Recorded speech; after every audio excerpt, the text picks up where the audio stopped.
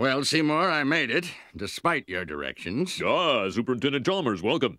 I hope you're prepared for an unforgettable luncheon. Yeah.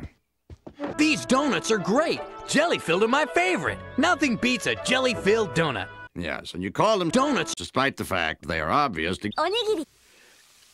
You, uh, you know, the, one thing I should. Excuse me for one second. Of course.